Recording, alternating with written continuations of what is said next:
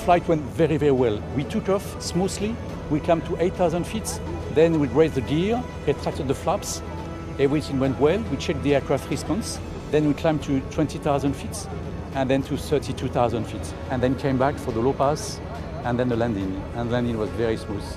So we enjoyed so much the flying that I'm really, uh, it's, uh, now I can relax and I feel very, very well. The aircraft is really beautiful. I would like to thank all the people who have worked a lot on this aircraft to make it fly today.